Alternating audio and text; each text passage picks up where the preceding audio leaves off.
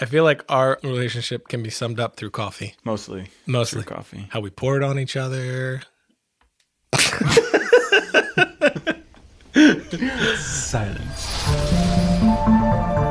Welcome to the Film Riot podcast. I'm Ryan Connolly, and today on the show we have Lucas Harger, who is the editor of Ballistic. He is a new collaborator of mine. It's the first time that I worked with an editor, which I have talked about on the show before. It was really great experience. Lucas and I are going to talk about uh, that director editor relationship and working on Ballistic since when we recorded this, we had just locked the cut, so it was very fresh in our minds, and we just held on to this episode to wait for Ballistic to come out so we could say all the things that we do say so we didn't have to be cryptic. We could be just open and honest. But before we get to that, I want to thank our sponsors like Benro. Benro makes a ton of really great filmmaking gear, such as tripods and sliders and hi hats. I really love their hi hats. We used all that a ton on Ballistic. It's great to be able to put your camera wherever you want. And uh, their tripods are just extremely solid, uh, especially for the price. They're as good as uh, similar sticks, three times their price. Similar to other companies that I collaborate with, it's all about having really high quality without those really high prices. And if you use the coupon code FilmRiot20, you can save 20% on BenroUSA.com. So jump over to uh, FilmRiot.com forward slash podcast go to the episode page for this episode and find links to some of their gear. I also want to thank Westcott, which is an industry leading lighting manufacturer that specializes in lighting and light control for filmmakers around the world. We've reviewed the Flex Light and the Ice Light on the show, but they're so versatile and travel ready, especially the Ice Light. I shot uh, on a bigger budget project where I did second unit and I had to shoot in this forest area, but I didn't have any lights. So I just took an A7S and uh, an Ice Light and shot out this entire scene, which ended up cutting with Alexa footage seamlessly. So definitely check that out at filmriot.com forward slash podcast. They are really handy lights to have around. But now we're going to jump into it with Lucas. But before we do, just a little warning there are some bad words in this episode, and there have been on some previous episodes. And I would like to hear from you guys. Would you rather us bleep these out, just mute those words? So if you have kids around, uh, it's not an issue, or just warnings in the beginning? Shoot me a tweet and let me know what you think we are working to improve this show as we go, and we'd love your feedback on that. But now, into it with Lucas. So I'm not going to release this till after we release Ballistic. Okay. That way, people have seen it, and we had publicly worked together by then, which we already publicly worked together because of the vlogs. I guess they are. But just for people that don't know your stuff, I guess let's start with like, how did you get into this, and what do you do primarily right now? It's a pretty standard getting into this story as far as VHS making movies with my brothers growing up. Yeah. Did you do the VCR to VCR thing? Yeah. Yeah, for sure. So there's definitely that aspect of it. But then, kind of where a lot of other people go into skate videos, I went more into wakeboarding videos. I did not do the skate video thing. A lot of people do skate. I didn't do the wakeboard video thing either. Wow. Yeah. I just made short films. Yeah, we, we we would do a lot of like little sketchy short things growing up. But then I got in really into wakeboarding videos just because I grew up in Michigan and so there was a lot of wakeboarding where I grew up. Yeah. And the wakeboarding community is pretty small, so a lot of my friends rode in the X Games and and kind of all growing up and so I had I didn't have to, but I started to like make them sponsorship videos. That's awesome. So that's kind of where it started to get into more of like, and the thing that wakeboarding videos do or used to do more than skate videos is they would always have like a narrative thread, mm. like always, or like a sketch comedy thread. It wouldn't all just be wakeboarding. It was like a lot of lifestyle and wakeboard videos. Right. So that was kind of fun. And then I think it was just a roundabout way to where I am now, to where I, I went to school for music business, but after I got out, I never really did anything with music business. And I knew kind of in music business, I never wanted to do anything with music business because. But you figured, you know, why not take it anyway? Yeah, for sure. Well, and then- Everybody needs music business for taxes purposes. It's Yeah. I think the actually kind of looking back, the only good thing with music business was just a lot of contract law oh, that's good. and creative contract law. We And have so- tons of that. yeah, so music licensing contract, like I knew a lot of that stuff kind of coming out of school. Yeah. which was helpful. But then uh, after I graduated, I just moved into St. Louis and started freelancing. And Freelance editing specifically, or did No. you do other stuff? yeah, I kind of did everything. like even video production stuff for like small businesses and then web development minor software front end ui development stuff. So it was just kind of like all over the place and it was just a process of whittling down. What you wanted to do. yeah. And then the job at the production and post house that i'm at now they like posted a job for an editor and i applied and just kind of like really chased it chased it down pretty hard. And i got the job and then i just sold all of my camera gear because i never wanted to shoot ever again right. and got rid of everything. And for you know the last five plus years have been able to hyper focus on editing exclusively That's great.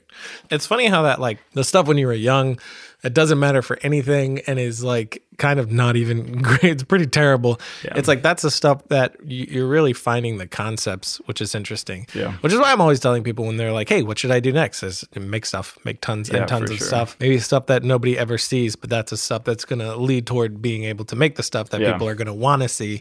I think that's such a huge thing because because you get, I mean you get to a point where it's like I've done this not something exactly like this but I've done stuff in this world I know how to sell this concept Yeah, and it's like if you've never picked up a camera, even beyond that, if you've never tried to tell a story in some way, a moment, you know, capture an audience's attention before, you're not going to. It's going to be terrible. You need to do it over and over again to figure out. Even when you're writing, I, I think one of the biggest teachers for me for writing is finishing. You Yeah. know, I finished a short and then I looked at its shortcomings and then I'm like, this is what I should have done with the character, with the mm-hmm. moments, with the build, with the structure. And that's been like my biggest education for writing is just by doing things.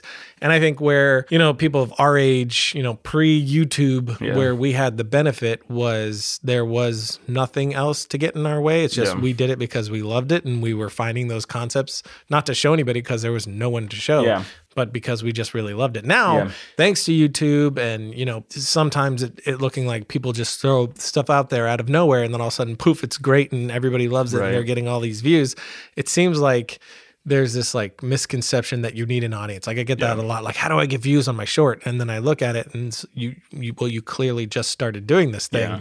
don't worry about that Build. just make a bunch of stuff Yeah, for sure. until eventually you know you've made 100 things that are not very good and your 101 is worth someone's time. sure. so i think that's really missing right now thanks to youtube and the immediate like view count you know mm-hmm. culture that we have now unfortunately. Mm-hmm. So I, I always think about that whenever anybody it has nothing to do with Yeah. neither here nor there. But I also think it also doesn't help with the whole concept that the the only time something is justifiable is if you're going to get X amount of views. yeah. Because the stuff that we made growing up and the stuff that I mean, there's also plenty of stuff now that it's just never, it doesn't get views, but it's the process of making Totally. it and like learning something. Like I did this Yeah. little archival thing and we put like uh, UFOs in it and like it didn't get any views, but it really wasn't Yeah. about that. It was about like playing around with archival footage and putting Totally. a 3D thing in that. And so that's also missing because it's just like, do I have a platform to release this to? How many people are going to? Whereas growing up, it was just like we just made stuff. Yeah, even when I was working in Alienware doing video production professionally,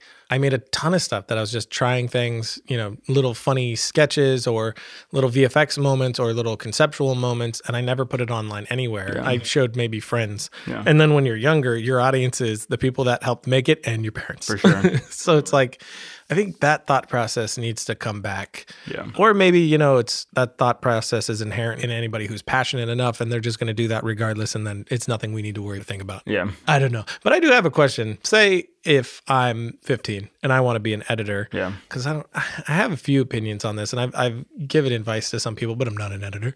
But they have no footage. They have no desire to shoot. They have no camera, but they do have, say, Premiere or Right. Hit Film, whatever. Yeah. What would be a good way to start like practicing and honing that craft? I mean, there, there. I feel like there's a bunch of ways about it. Something that I had always done, and I still always do. It's a lot easier now with archival sites that just put up a ton of archival footage, but you can make. And it's definitely good practices to just start cutting seemingly disconnected footage and attempting to make some kind of narrative through line. Whether that's like like I did one thing where I you you rip a section of like War of the Worlds from the radio play or whatever, and then you just cut stuff to it Yeah. and things like that. And so there's like a ton of footage out there that's free to grab and a lot of that archival stuff. So just getting into the software, having a narrative approach to something, having a concept of like this is what I want this to say and then looking for the footage to do that has been something that's helped me. I also cut a lot of that stuff to like poetry as well. It's like a whole. I think that's thing. so much better too than like, you know, a lot of people will cut their own trailers or recut trailers to do trailer mashups, which are cool and great and useful, I think, as far as learning how to cut and why and when and pacing and all that. But I don't think it's super useful to help you get jobs. Yeah, Whereas, like, if somebody took a ton of archival footage and Yeah. crafted something that wasn't, Yeah. that would be impressive to me. Yeah, I mean, you can. There's a lot of even like title sequences out there Yeah. that are based around archival footage. Like, it's a really rad vibe that you can get. And there's like archival footage that I had played around with and cut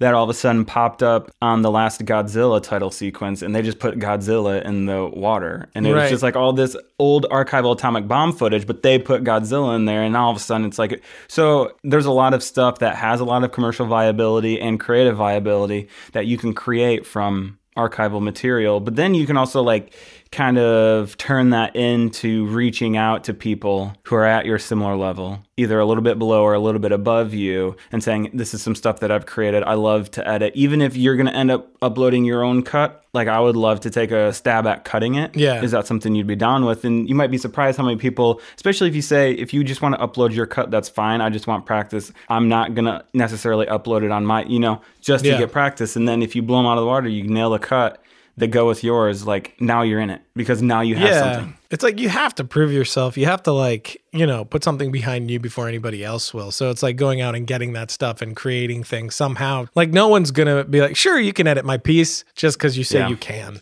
For you got to sure. show you can. and that is true at the beginning and at the end like Totally.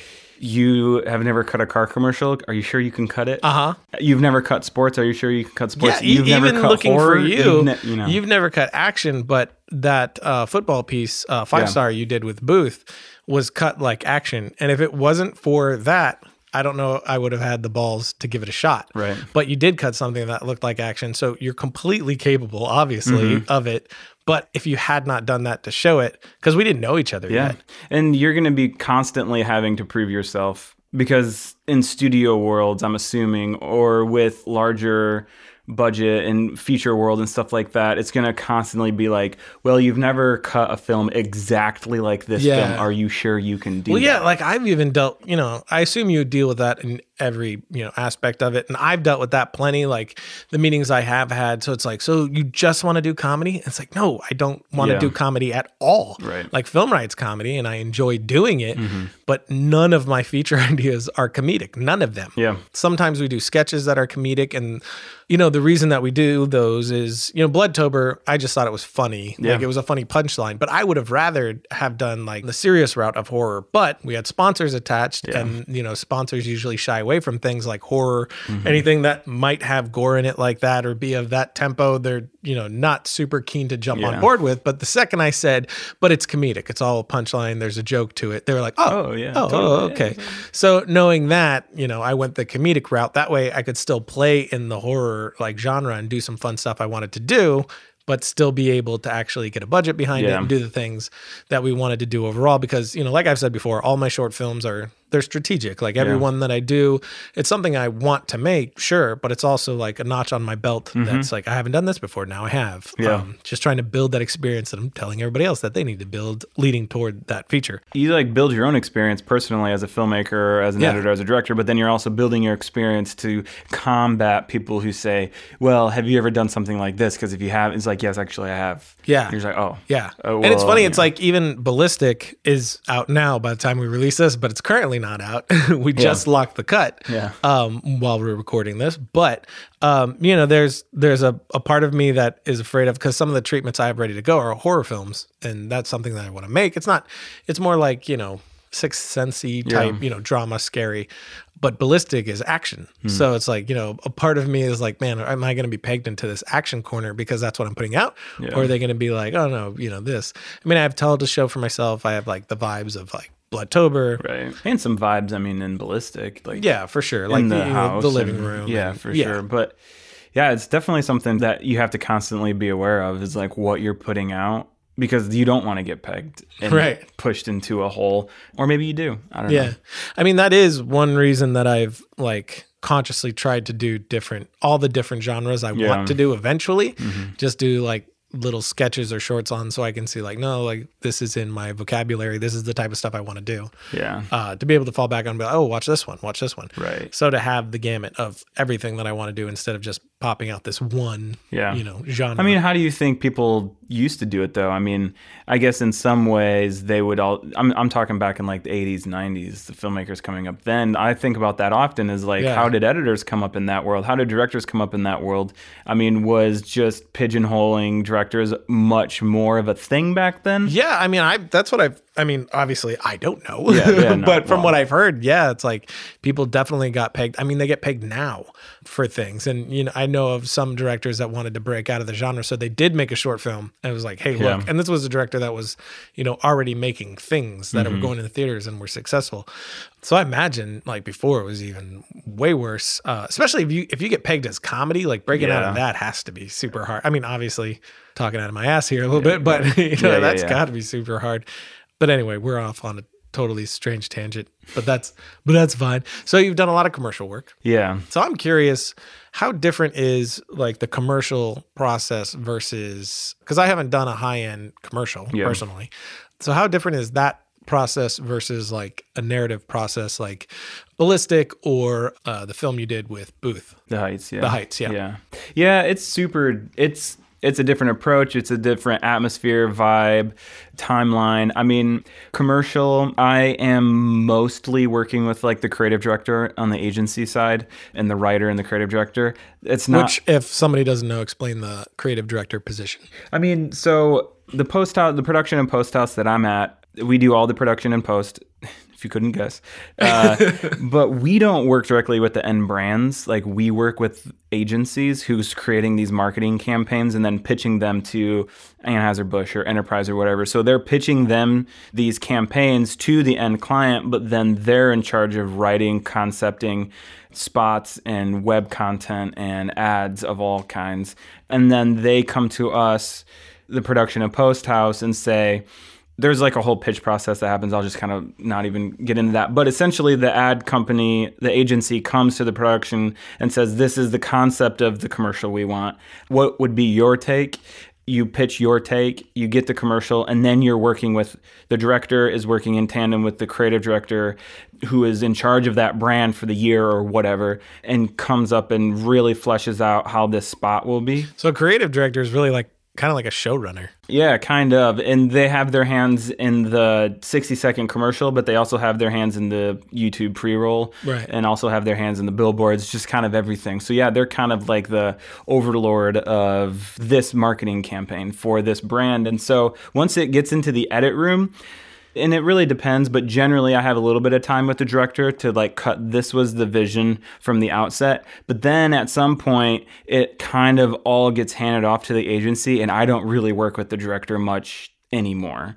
Other than, you know, sending cuts to like keep them in the loop and to keep them understanding of what's going on. But the creative director kind of becomes the gatekeeper and they're the main conduit who's then taking the cut and going to the client and getting so you're just working with somebody completely different with a completely different approach different sensibilities not to mention storytelling in a 60 second is vastly different than a 60 Yeah. minute right where commercial is as clear communication as humanly possible from frame one to the end to frame 60 or whatever you know it's just like constant clear communication you can't hold anything back there's not a lot of subtext i mean there's some commercials you can point to that do have some of that subtext and things like that but by and large it's like as on the nose as you can be because you're communicating the brand's identity and so it's just a different approach. And so for me personally, like I'm working with a director, I'm working with a creative director, I'm getting boards that they've had animatics that they may have had animated and cut.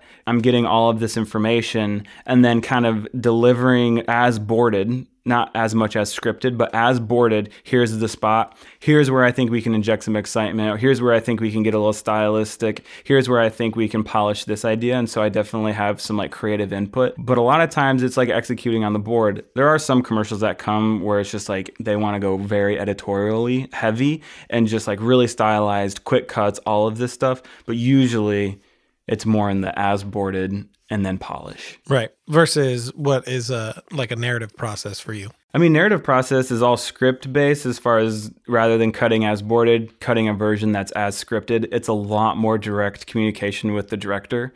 Um, like with you, I mean, we have had a lot of conversation, a lot of communication. You've been sitting uh, like with me, and we've been cutting and working constantly on crafting the story and like building more subtext, building a deeper storyline, polishing the areas of the story that are interesting, and then maybe like not polishing the areas that we want to kind of hide, you know? So there's a lot more like collaborative cutting that happens in narrative that Yeah. doesn't really exist in advertisement. I assume you prefer narrative. Yeah.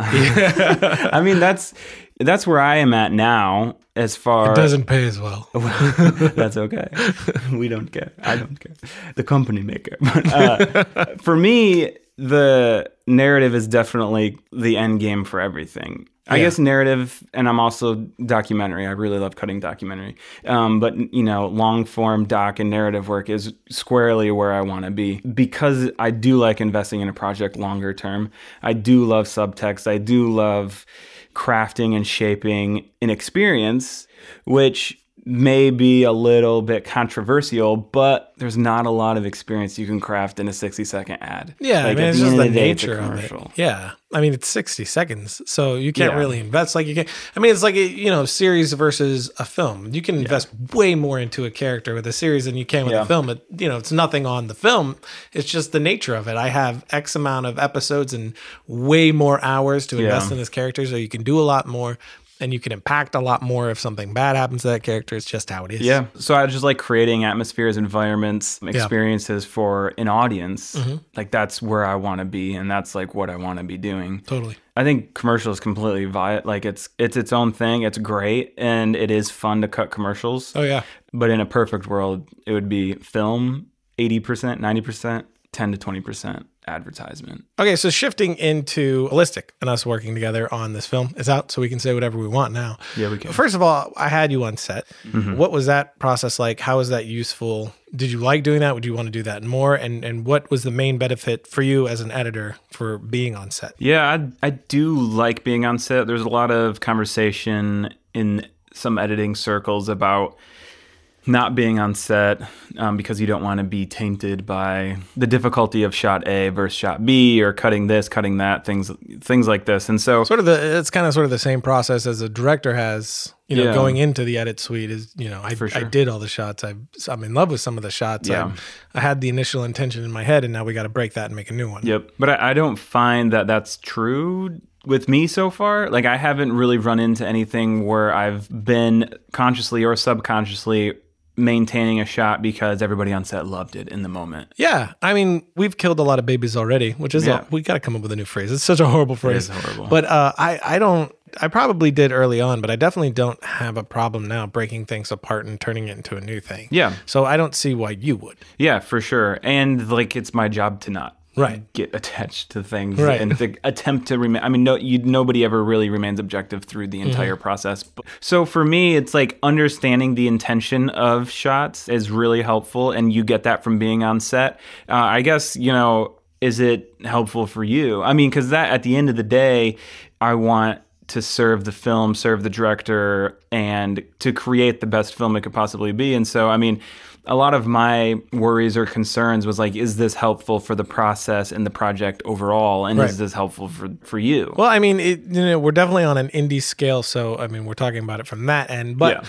so from the indie scale as a whole, it was nice to know that you were the bodyguard of the footage, Mm-hmm. making sure everything was okay, making sure we had it and it was backed up properly, Yeah. which is nice to have because it's Yeah. somebody who cares about the footage as much as I do. Right. But beyond that, if it wasn't, you know, just as indie as it was, especially when we shot in Texas because you were doing, you know, the DIT stuff in, Mm-hmm. Yeah. in Texas, just having you there behind the monitor, having my back almost as a script supe in some ways, but, you know, more than that of, you know, I had to throw out the shot list and now I'm just making things up as I go along. And then I'm Mm-hmm. like, okay, I'm pretty sure I got the coverage we need. Then I could just look over and go, right. And then you give me the thumbs up. We're good to go Yeah. or I have to make, you know, this big switch because nothing's working. We only have an hour left with Cambry. You know, the the original intention of how I was going to do this was going to be facing this way, and I'm literally flipping everything upside down and having to piece that now together in my head, throw out the old idea and edit together this new idea in my head and play it back, being able to turn to you and go, hey, if I get this shot and this shot, we can make that work. Yes. And then, you know, having that backup was huge for me, especially with a project like this Yeah. that was moving so fast. Yeah. You know, we needed four times the budget that we actually had to pull it off, but we did pull it off. So there's a lot of stress and restraints that go along with it. So having that backup was was huge for me. It's like I called you know you and Chase. I called you uh, us three the Triforce. Yeah, totally. Because it was like Yeah. you know every time we had lunch or dinner or anything, it was like the Triforce came together. Yeah. and we're like, okay, here's where we're at. Here's what we still need. There's no way we're getting that. So how So do we get what? you know how do we get this? sure. Which is what I'm always talking about. The original intention, what I was setting out to do. How do we accomplish what the story is setting out to do? Not in this original way, the the ambitious way that I came in with. We Yeah. have to break that down. We have to water that down a little bit, but how do we water it down and it still tastes delicious? Yeah, for sure. And it, then it's like, well, it's up to you in the beginning to cast your vision properly to your collaborators so that when things do need to be a little bit more freeform, everybody is on the same page with the end goal. Yeah. And then you can go off script and you can improvise your way through this because everybody has been bought into your vision and you've communicated it properly to your keys. I mean, you know, you're not going to communicate your entire vision to everybody up and down, but to your keys so that you can, in a time of crisis, for lack of a better word, turn and be like, is this going to work? Yeah, totally.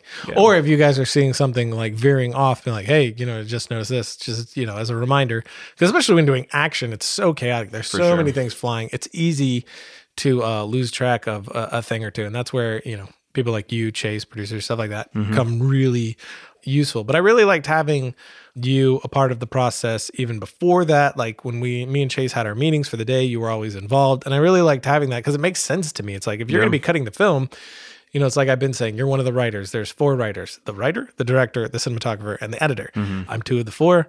And, you know, so we had all four writers in the room. You know, Chase has helped writing it visually. You're doing the actual final rewrite with me in the end. Yeah. So it's like, it doesn't make a whole lot of sense for me to bring you in in the final hour when Yeah. you can't give any input on something that could be physically altered. Mm-hmm. So it makes a lot of sense to like do this now. Yeah. So and like, hey, you might need this or that. it feels like that's the way this new age is kind of tending. Is it, is it is that happening more? Yeah, I mean, you saw it in an extreme example on like Baby Driver, where they had a video feed that was going directly to an, the editor who was on set, Oh, a wow. completely tricked out station, and he was getting proxy in real time as they were shooting and recording. I didn't And know that. Yeah, and then he would cut, and then Edgar would look over and be like, he would give him, you know, two minutes to cut these four shots that they just gotten because it was so syncopated, especially the beginning of the So film. they were so they were cutting real time. Yeah, and he would look That's over and be like, "Is that That's going to how work?" and be it. like, "That's going to work," and like, "Let's move on," or it'd be like, "Nope, we need to hit that again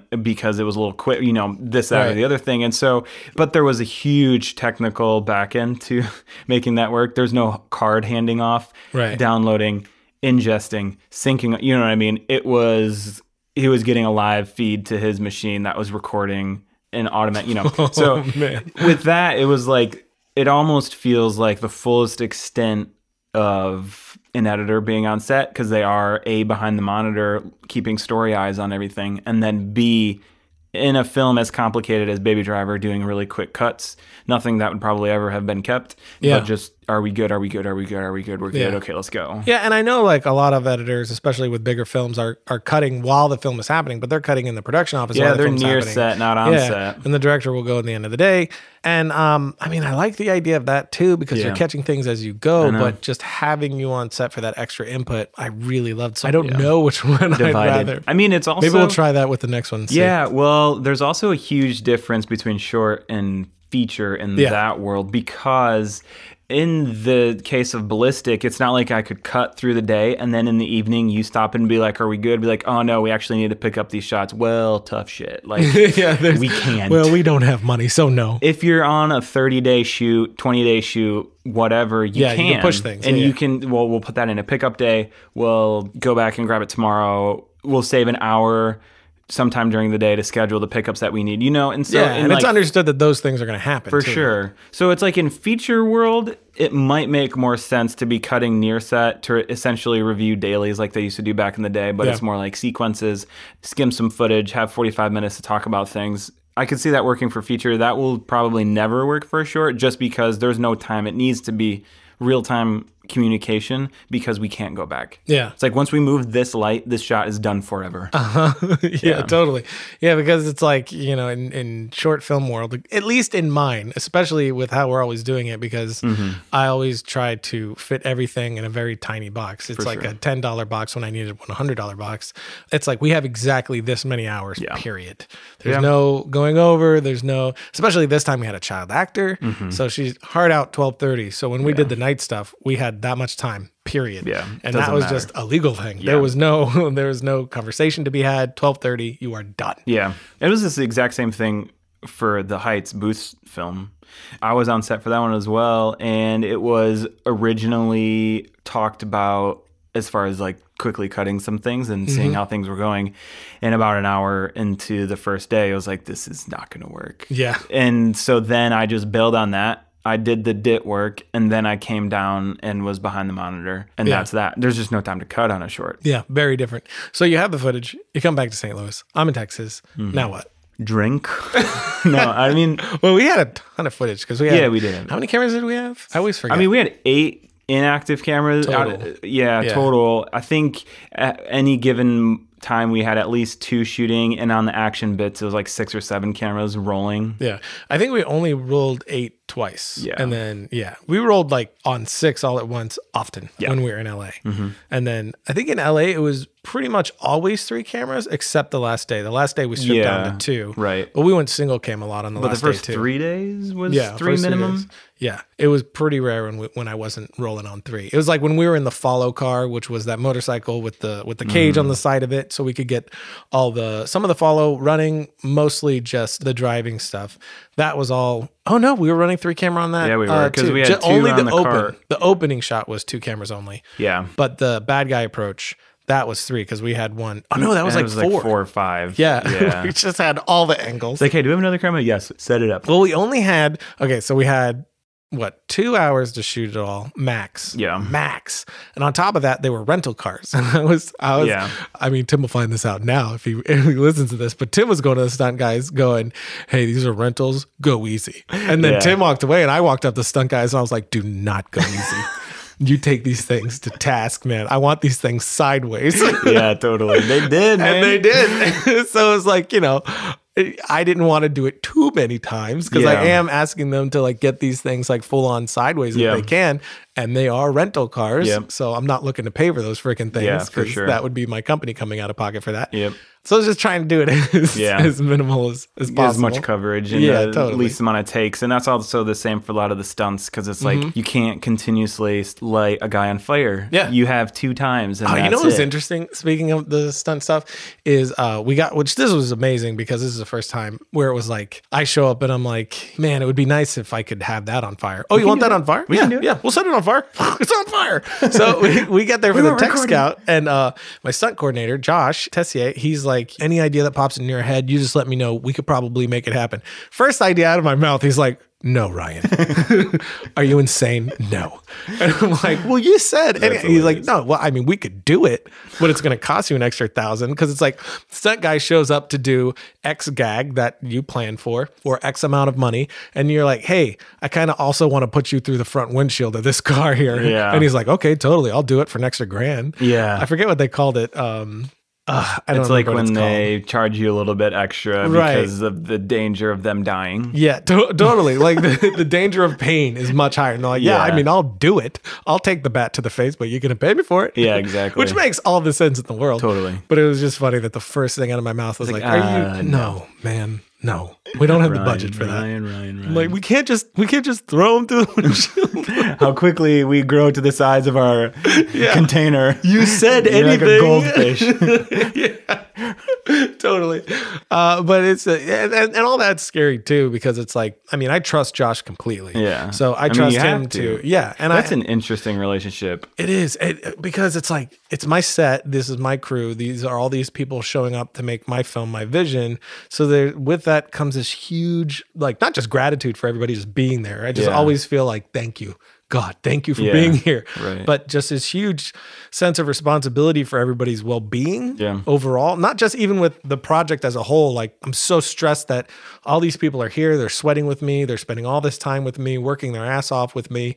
I gotta make sure this is right. I gotta Mm-hmm. Yeah. make sure this is good. So I'm there to like have the correct answer for things, and it's it's you know it's that stress. But on top of that, just their physical well-being, Especially with not- stunts and blowing Exactly. Like up. even the actress doing something as simple as like a very simple little pratfall to the ground. yeah. She could easily twist an ankle. She could easily fall and, you know, Not to mention the glass that was everywhere. the glass that was everywhere, the rocks all over the Yeah. floor. So it's it's really scary to cuz then it's this balance of, well, we can't go soft with this thing. We can't go 90%. We got to go 100%. Otherwise, we're wasting everyone's time. Yeah. You know, I'm not making the right choices to, you know, the well-being of the project, which is everybody's final well-being. But then you're also juggling that with what's most important and that safety. Yeah. So that's that's a scary thing, and you know, I totally trusted Josh. I worked with him before, and he's a complete and total pro that's been doing this forever. So that was really nice. So it was very nice. It's you know, you have somebody that you can trust. That when I'm pushing it too far, he goes, "Okay, stop. We need to rope that back. That's not safe. We're not doing that." Yeah. But I know he's not being picky either. I know he's not being like just safety police to be so because he doesn't want to do it. He wants to go further than I do. So he's there just to be like, mm, maybe not that. How about if we do it this way? And then he'll find a safer way, a correct way to do it. I'm like, beautiful. Yeah. So that takes a lot of stress off my plate. Yeah. Because I know safety is his number one goal Mm-hmm. and he's very responsible and attentive to that.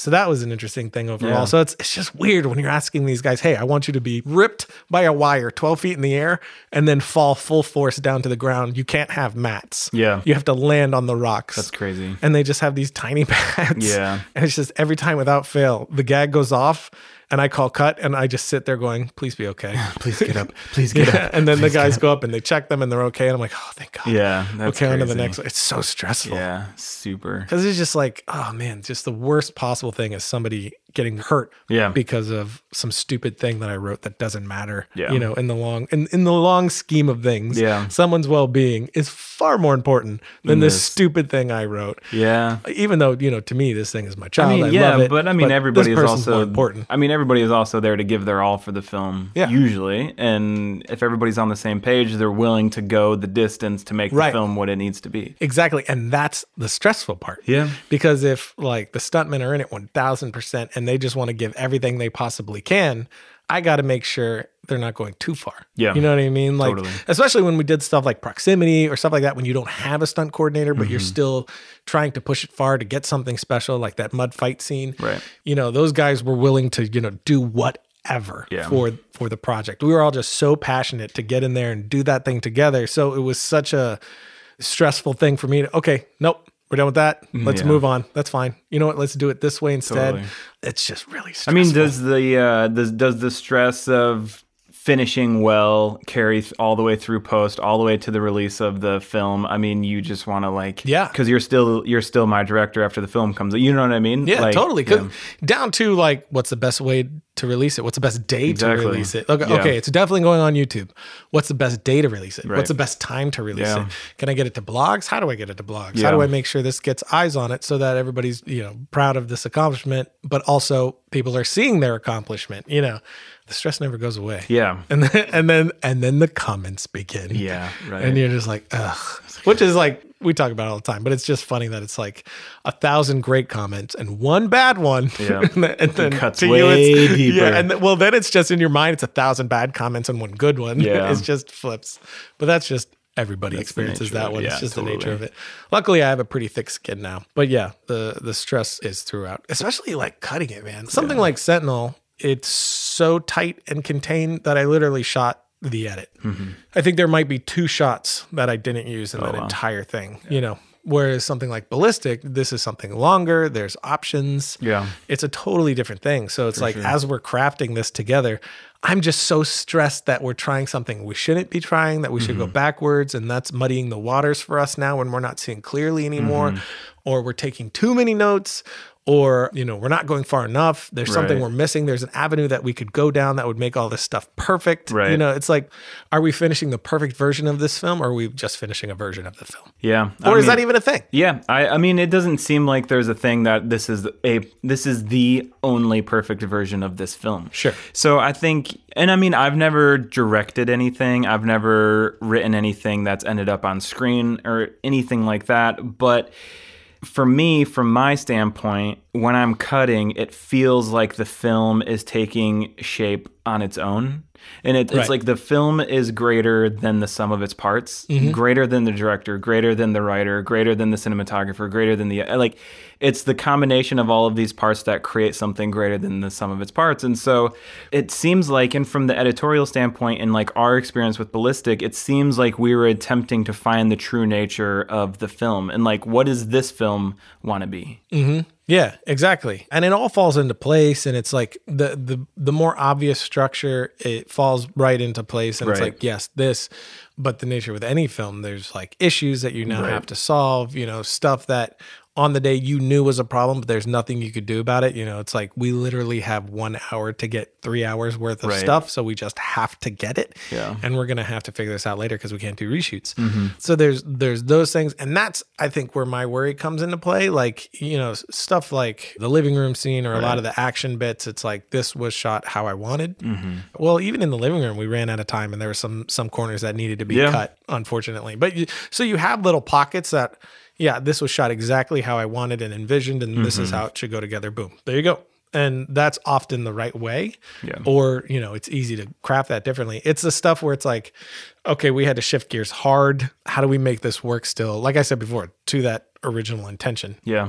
And even a lot of the stuff that was shot, essentially edited as shot or shot as edited, you start to see emotional undertones that you can polish just by holding on this look a little bit longer. Mm-hmm. Yeah. Or cutting this line a little short. Yeah. Or having Isaac interrupt Sam and her you know what I mean? Oh, like yeah. you start to yeah, create you know what don't let him finish his sentence Exactly. Yeah. And that that stuff is super fun because and then that's when these characters start to become human. yeah And that's when you believe them. yeah oh you know what she doesn't need to say that twice just cut into the second time she's Exactly. saying that one of the things i thought was really interesting with this one was the flashbacks were not scripted like those little pain flashes. the pain flashes, the quick, the quick flash flashbacks. Like at the end when all the flashbacks with Cambry and Rachel and Mark, those were all scripted. The Mm-hmm. the narrative flashbacks where we go and we live in a scene, that was all scripted. The bedroom, all that was scripted.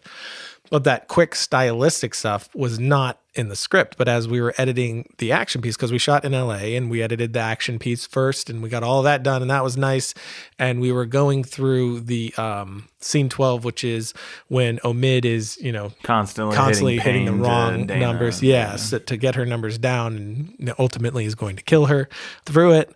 She's having these these moments of this impact, and we both were feeling it like, man, we're going to go from this emotional stuff into this, and this is just brute force, and I'm not feeling the emotional impact of this, and everything that we've gone through should culminate here and should all weigh on her. And then we came up with the idea of every time you hit it, she's like Remembering. flashing, remembering what we just showed. Yeah. But we knew it couldn't be just straight shots. That would be it would Reused feel like footage. last time on. Yeah, exactly. You could do some of it, but it needed to be subjective. It needed Yep. to be her subjective memory of it, and switching from her remembering it wrong. Like even in there, you you had the great find and like of having Rachel say no, Dana, Yeah. and right. stuff like that, to where it's like not quite right until we get into her remember the truth of what her mom did and Mm-hmm. Yeah. what her mom thought of her and was really telling her and all that. So we found that in the first bit of editing. So when we shot the next bit in Texas, we just Picked up a ton of stuff. yeah threw a camera at you and Josh, and you guys just got tons of stuff, and that Mm-hmm. that totally helped us find the correct way into the bedroom Right. because we both felt like the bedroom was like It was it was good, but it was like wrong. Mm-hmm. there was an emotional tone that we wanted to hit with the cut that we Yeah, yeah, and it, and and it's like even you know we could have hit the emotional tone without the flashes, but it just brick walled the pacing when Mm-hmm. It wasn't time to slow down like we needed to sort of move our way in because it starts with action and movement and Yeah. it's violent and mysterious and we just stopped Mm-hmm. and had a moment when it needed to like so the mm-hmm. flashes helped us do that we Yeah. actually had a whole version of flashes Very, very flashy. which like kind of sucked the heart out of it Yeah, but we discovered a ton of stuff in the process Yeah. of cutting that version. including the how we did the ending Yeah, totally. So there, the, we did we did a fair bit of exploring, not because the narrative or the intention or the point was lost in any way, but we did a ton of exploring because it's like how far can we push this concept, and what Right. are the things that we are going to discover that's going to inform the narrative Yeah. that was originally intended. yeah because it's like the idea is you know life is shit Yeah, all you have is to keep going, to keep moving, sure. and to find those reasons to keep moving, and to explore the reason why is she still going? What Yeah. gives her her drive? What is it that gives any of us our drive when day to day things are garbage, but you just keep going anyway, and that's really what you have. And I mean, there's more to it than that, but that's a simplified version of it. You know, so it's like, how do we pull that to the top while also because there's that three layer of meaning there for Yeah. me. There's the above ground just what it's about if you just straight watch it. Oh, this girl is a survival story. Then there's the next layer of what it's about, which is basically keep moving. And then there's the next layer of what it's about, which I'll never say out loud, which Yeah. I always have with my stuff like tell and and if you get stuff from it, great. If you don't, well, that was for me. It helped me write the story and tell the story and it means something to for me. sure. So it was, I mean, you know what it is. I know. I know. Uh, so it's like, you know, how do we flush out all of those things? Yeah. How do we make all of those things shine? And, you know, I'm, and in the end, it's like, I'm not willing to strip away any of those intentions, any Right. of those three layers of intention. Yeah and reason. you shouldn't and that's what makes interesting film i think is Right. a deep subtext and layers to things that's what makes things rewatchable and like i saw a quiet place again and it was like so good. it was like better So the good. second time because I need to see it again. that film you could second watch third watch fourth watch. I mean there's just so much so deep. There's the the surface layer story which is awesome and like super engaging and Mm-hmm. intense. And then there's like you peel back layer after layer after layer of the story and it's just like constant discovery every watch you do i'm imagining. You're seeing something different that was intended you know what i mean? Yeah. those are the types of films that i'm interested in cutting. Yeah, that's and that's my favorite stuff too. I mean, who knows? We'll find out soon enough. But hopefully, Ballistic does that for at least somebody. Yeah. that they're still thinking about it and what did this mean? What did that mean? For what was sure. Mm-hmm. this saying? That that it worked for them on that level. Hopefully, I mean, you know, that's the hope. I mean, if if nothing else, hopefully people watch it and are entertained by it. But I mean, Yeah. the you know the winner, the prize is if people are picking up not even like fully like oh this is what it's about but they're they're pulling away something from it Yeah. because my idea is always i don't want to be like hey here you go. Here's the theme. There you go. You're welcome. Bye. Yeah. or here's a message. There you go. I want to uh, like i said to someone recently is you know i want to paint the canvas and leave some room there for you to bring your brush to it and To your paint to it. And conversation. It starts yeah that yeah because that's my favorite films is you know i don't know what the director was fully trying to say but this is what i got from it because i'm bringing my own experiences Mm-hmm. Yeah. to it. So that's really the hope. And it's like that's one of the biggest stresses for me like oh did, did it did it work? Am Yeah, I, you know am i saying too much? Am i saying too little? And i definitely have a problem with that often where i just don't give much information. Yeah. i have like this weird with short films. I mean my feature ideas don't do it as much. No, they um, don't. but I have I have like this thing with short films where it's like, what do I, I don't need to tell you what's going on here. yeah Figure it out. You know, Yeah. you know, for better or worse. I don't know. Uh, a lot of people complain about it often, like Yeah. with Sentinel. Proximity definitely got some complaints on that, but not as much. you don't have time or the energy and within the short to spend on Right. that kind of thing. Right. And it's like, it's just unimportant to me. Like for me, it's more, what am I trying to say? Or what is, if in the, you know, somewhere that's comedic, like Ghost House, what's the punchline? You know, what is, what is it that, what's the experience I'm trying to give the audience? And that's what I'm focusing on, really. Totally. What do you think of that? I think well of that. I think the thing that's most interesting, because like everything we just talked about, everything we just laid out is a pretty specific. Essentially, what I'm slowly going to get to the question of is like, you've never used an editor And like, Yeah. I mean, how has that process been for you? It's been great. Okay, I- we I can stop there. it. We'll I stop love there. it. Thank you for tuning in to Film. Yeah. One of my my good friends, uh, whose opinion I really respect, and I've said this a bunch, has been telling me for years now, you need to get an editor, you need to get an editor. But I've just been so terrified about trying to get one because it's like getting a writer, you know, or somebody to write with, and you know that's never worked out for me, and or a co-director in a way. Um, y- y- it's it's kind of a little bit of both of those things, and it's like I've always edited my own thing, and it's you know always finding ways to make things work when they're not working. And it's just so terrifying to me to try to bring someone in and it's like but then what if it just gets to the point where i have to be like move let Yeah. me just do it. Just Right. stop stop touching. Uh, so i've i've steered away from it because i've also i just haven't been able to find somebody until now. And then like i said earlier i saw your stuff from booth Mm-hmm. and i was like hey. So i've been wanting to for a really long time Yeah. because my friend has been hounding me to do it so, so I was Good like, okay, them. I'm gonna do it because he's like, I'm telling you, man, you'll never want to edit your stuff again. And I'm like, I don't believe you. I'm gonna edit my own stuff. And now I'm like, yeah, I'm never gonna edit my own stuff. It's just so great. I mean, I'll probably like, you know, you send me project files every now and again, and I would do little things just to be like, hey, this is what I meant. Mm-hmm. Yep. But they were like tiny little moments. It was like, Right. this is what I mean by that cut. You know, not like I'm not cutting a scene. And it just allowed me to step back from the technical, step back For from the controls, and just look at all the things that we've been talking about, like the intentions, the performances, the overall story, the overall themes. And, you know, while you're doing a technical thing, like, hey, do this, this, this, this, and this, I think this, this, this, and work. Now, now you're doing that. And while you're doing that, I'm thinking about the next thing and the thing before it. And well, if we did this, would that work? And let me think about that. And, you know, so I'm just thinking pure creatively. Mm-hmm. Yeah. And then you're obviously thinking creatively too, but you're also taking all the technical off my plate. Right. So I Yeah. can just really focus on the thing as a whole. And that was that was so incredibly helpful. But also just as much as, you know, having a DP there to where it's like I have my shot list and I know where I want to put the camera. I know what lens I want to put on the camera. I'm, you know, I'm more of a technical director in Mm-hmm. that way. But then Chase is there to be like, you know what? If we, if instead of a 75, we go to a 50, this, it'll give us this. And if we put the camera here, it'll give us this. Yeah. And let me just show you that. And Yep. you see how much better that looks. And your idea with the shot is this, but I think this conveys it better because of X, Y, and Z. And I'm like, oh, wow, you know what? You're right. Mm-hmm. Yeah. You bring the exact same thing to the table. Yeah. Whereas I get to be like, you know, the flashes Mm-hmm. was pretty much all you. I, I didn't really like with the action bits. I've done a lot of action. I'm Mm-hmm. very specific with my action. So it's like cut right here, time remap this just like this, you know, uh, Yeah. punch in this much and do this. But with the flashes, it was like, I want it to feel like this. Yeah. Mm-hmm. This is what the point of each flash is. This is how they are should build. And Yep. this is what they should be doing. And then you went off and crafted that. Cause I was like, I'm not really sure how we Right. can make that do that. and then you went off and did that. Mm-hmm.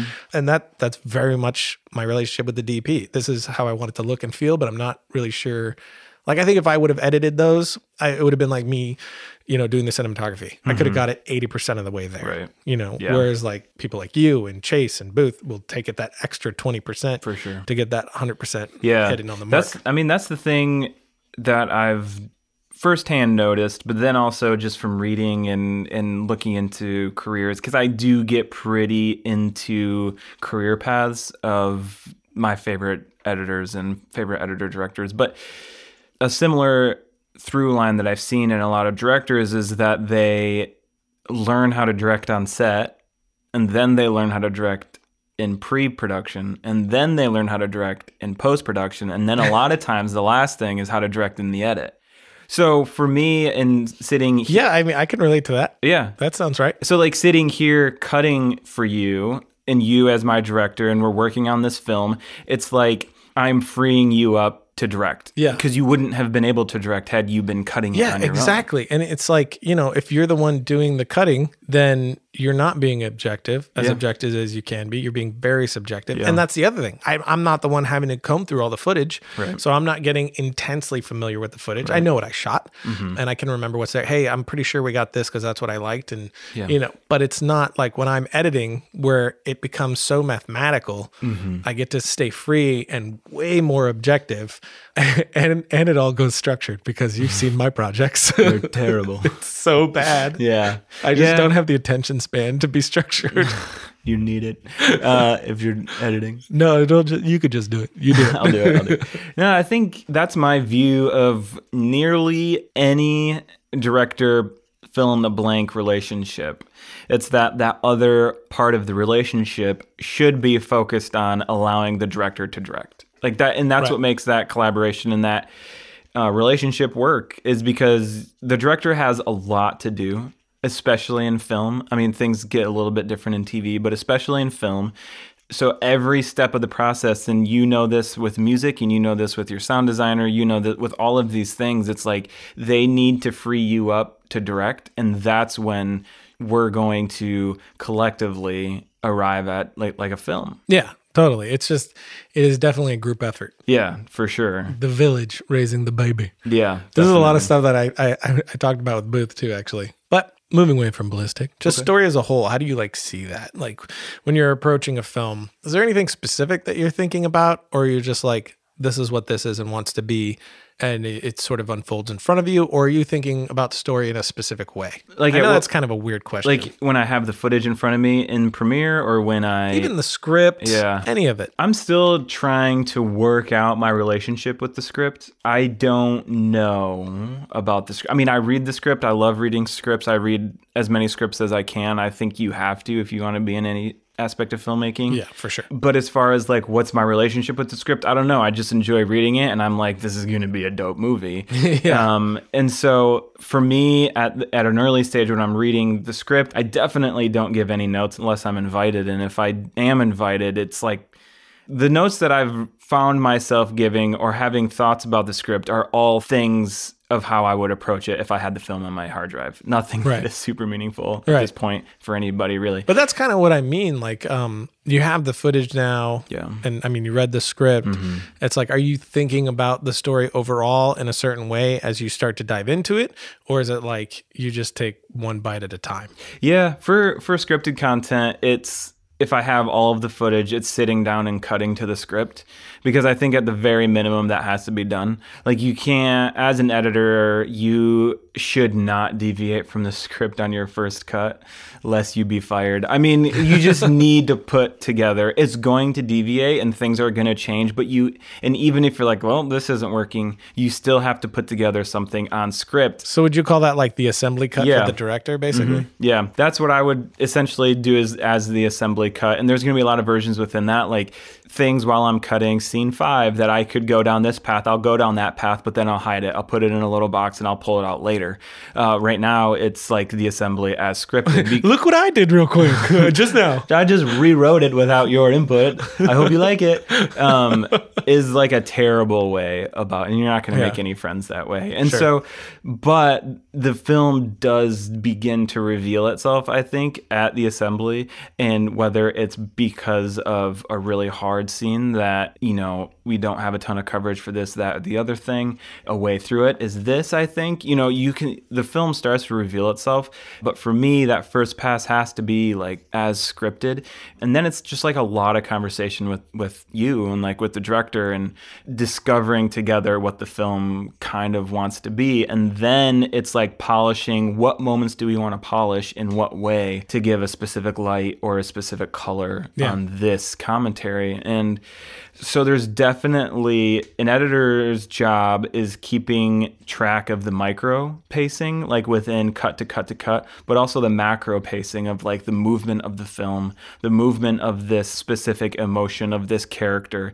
like keeping an eye on all these things because what you do in minute two could affect something that happens in minute 14 and Yeah. like keeping an eye on that so that when you go back and you start messing with minute two you understand the impact that it could have in minute 14 and you're just aware of it so you don't break things What about transitions? Are you thinking about because you know you're editing each scene in its own sequence usually, right? yeah an assembly and then as soon as i can i put them together Right. And then are, are you thinking about transitions when you're you're assembling them in their own sequences or are you just like let me get this scene together and then we'll see. yeah I- i'm thinking about transitions pretty early Yeah. because otherwise it just feels so chunky Have you come across the because I I think about transitions when scripting. Yeah. How's this scene going to move into this scene and all that to try to get the most seamless transitions as possible. And also like ballistic, finding places to really connect and say something. Yeah. Like our transitions were to inform you this is the same person Yeah. which hopefully that worked. um, but have you come across any issues where it's like transitions were not thought about? Now what? Yeah. What do you do there? Yes.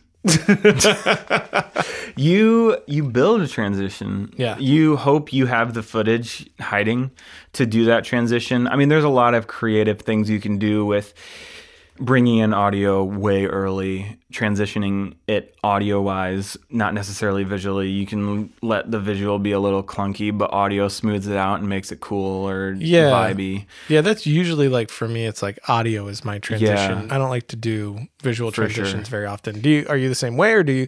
Do you have any like little visual tricks that you like to do too?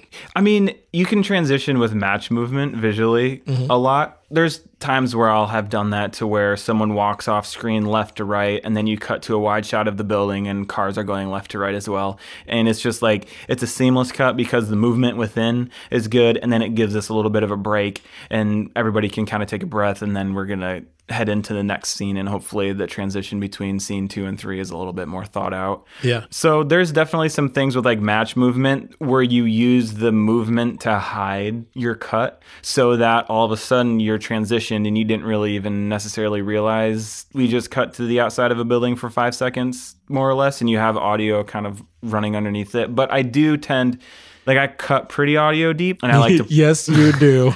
I think Ballistic has like, and and this is just my sequence rough cut is like sixty some channels deep. Oh, God. But I just like to build my audio deep. Um, I also think, kind of jumping back a few conversations, like one of the editor's main jobs is to communicate what was intended in the cut. Like, because we're spending a lot of time together, and you probably won't spend this much time in the other areas together yeah. and talking about pretty meaningful things. And so I need to build into my cut those conversations Yeah. so that when audio gets it, they're like, oh, okay, this, even though it's rough, even though it is going to completely change, I understand what they were going for in the mm-hmm. edit room because it's all laid out here. Yeah, I was I was funny enough, I was thinking about that on the way here today. I was like, man, if something happened and I was unable to finish this film, like right now, if I died Yeah. to go very dark, like how would this film finish? And I think you're the only person that could take it the rest of the way. Like you could actually direct the rest of the film because you know every bit of the intention. We've had all those conversations. You built in, you know what the music should be doing, you know what the sound effects should be doing. So you could actually finish the film for me. I would do it. Uh, you would do it. I would, you do, this for I me? would do it. Lucas. If I die, if my I will plane goes down, thank you, Lucas. the show by- must go on. Directed by Lucas Harger. yeah, no. Son of a bitch. oh no. Uh, yeah, I mean the in your timeline also like, and then the other thing too. I think, I mean, if we both died, We're screwed. we're screwed. I don't know, but I feel like have our a roadmap. I feel like our timeline Just could follow the GPS. exactly. I feel like the timeline could get handed off, and the intentions are built into the rough Mm-hmm. Uh, cut. Josh, if we both die, I'll make sure that the timeline gets completed. Thank you. Just hand the timeline off. Don't touch anything, Josh. Touch. Don't Nothing. touch a thing. no, yeah, I think. uh Everyone listening is like, what the hell? Who's Josh? No, I'm just kidding. just kidding, Josh. Just kidding. Uh, so yeah, I mean, I don't know how I jumped off on that tangent. No, that's great. No, it's great. it sounded it's- so false. Yeah, no, Oh no, it's totally great. It's Anyway, great. back Glad to you wasted all of our time. Ugh. Um, something you were saying before uh, made me think about. It. I, I think of like just editing and pace as like language, and you know, you need punctuation, you Yeah. need periods and commas and exclamation points, question marks, and Mm-hmm. you know, chapter breaks and things Yeah. like that. And you know, like you were saying, to jumping to the wide and giving people a moment before you go into the next thing. You know, that's very much a period or a chapter break, really, Right. because you know, without it, it just feels like a run-on sentence sure. sometimes. And it's like, man, why isn't this working? And why is all the impact gone? Mm-hmm. Why is all the emotion ripped out of this? And we we came across this problem when we were doing ballistic and trying different versions. Yeah. Is because we were putting commas where we should have been putting periods. Yeah, And I think that's a really interesting way to look at it. I think a lot of that, like, I'm not thinking that when we're doing it, but that's really what's happening. Yeah. And I think it's, uh, at least for me, it's like gut type stuff. Like my gut is saying no. Yeah. And why does this feel wrong? And then and then hunting that down. Yeah. But I think that's an interesting way to look at it. For sure. And there's a ton in this, I mean, whatever. There's a ton of similarities between, for me personally, between like editing and poetry because of that. Yeah, Because of totally. the super unique use of punctuation and line breaks versus punctuation and subtext and what the poem is about versus what the poem is saying versus the flow of the poem. And so there's a lot of times, kind of going back to the beginning of the conversation, there's a lot of times, like if I have a lot of free time and I, you know, I'm not cutting something today, I'll grab a poem that I've read recently that I like and download archival footage and cut something to that poem because there's built in pace to the poem and there's built in Yeah. pace that the poet intended. And it's a really good pace exercise to take something that has been meticulously considered with the placement of the punctuation for a rhythmic purpose, for a pacing purpose, not necessarily for a grammatical purpose. And then, well, why did they break the line here? I don't know. Cut something like that, expound upon this line from an editorial standpoint, and you can start to play around with pace, which like comes into play in every area of editing, whether you're doing commercial editing or narrative editing or documentary editing, like having a good handle on pace and saying, like, this doesn't feel right. And then making it feel right. Yeah. There's a really big gap there. There's it's one level to arrive at a place where you have the sensibility to say the pacing doesn't feel right. And then there's another level of like craftsmanship where I know something doesn't right and this is how we can make it right. Yeah, totally. Huge steps. Yeah, and I I, I kind of deal with both through the entire process from writing to Yeah, you know sure. finishing. It's just like sure. even musically, like I get sent a track and I'm watching it to the thing, and it's like, uh, this is not feeling correct, and the emotion is not hitting where it should be hitting. I'm not 100 percent sure why, but I know it's not. And you know, sometimes to to Daniel's credit, he's very patient with me because you know it's not that often where it's like I don't know why, but no. Mm-hmm. But sometimes it is, and it's like I'm not 100 percent sure why this isn't working. Yeah. Maybe you do because this is what you do, but right in this moment, here's what I'm feeling, and I should be feeling this. You know, I've, I've said that to you. Uh, I say it to everybody. I collaborate at some point. Mm-hmm. Yeah. I don't know why I don't like that, but I don't like that. Right. you know, Yeah. I try to make that as rare as possible, but sometimes I don't have an answer. So Yeah. I just have to be honest instead of creating some BS answer Yeah, right. and being like, hey, I don't like it. Can you figure out why? Yeah, for sure. I, I- I think it's like similar to getting notes. Sometimes people don't like stuff, and it's what they're pointing out there don't like is actually not the problem. Yeah. It's crazy how often that happens. Yeah, for sure. And I think all of those things build over time between a director and editor. Like the next film we cut, we have a huge foundation that we've worked for a long time on this one to lay as far as like a shorthand and as like I know what you mean when you say this and we can arrive at these things. You know you know what I mean? Mm-hmm. Like kind of going back to what I was saying, like I love to follow careers of directors and director editor duos because a lot of times, more time than I think in almost any other craft in the filmmaking process, directors and editors stick together over a career. Yeah. And that's one of the things that I love most about editing is because you build these really long lasting deep relationships and the films that you create are only made possible by the history that the director and editor have shared. I mean, one of my favorite is Denis and Joe Walker, and the films that they just constantly come out. I mean, from Sicario into Arrival into Blade Runner, like the intense reworking that seems to have gone into Arrival was only made possible by the history of the relationship they have and the trust that they built with each other in Sicario and, you know, collaborating before that. You know what I mean? And so Yeah. there's like, that's the stuff that I get super excited about with making films is because you're establishing relationships that only with the combination of this these two people and their relationship is something of this scale and something of this meaning possible to exist. Like that's fun. Yeah, I totally agree. And looking forward to the next one. We're going to make it. We're going to make another. We're working towards some stuff. Yes. Hopefully, we'll talk about eventually. Yeah. Okay. We've gone past an hour. I don't know if this will be past an hour. We'll see what happens once it's edited. Yep. But thank you, Lucas. Thank you. What what would you say just, you know, 13, 15 year old kid starting out, one tip, hey, do this. do everything in the process for sure like you have to have some experience because you have to respect every department in the process of filmmaking you're eventually going to have to respect that and you're going to work with them maybe not face to face, but you're going to work with the result of what they've brought. And so understanding the process is huge. And so definitely try and get your hands on as many levels of the process as you possibly can. But then it just comes down to like, you have to cut. Like, you have to cut. Even if nobody sees the things that you cut, you have to cut. Even now, I cut a lot of things that nobody sees out of archival footage, out of found footage, things like this, just to continually work on and strengthen the muscles of storytelling through the visual medium and through cutting.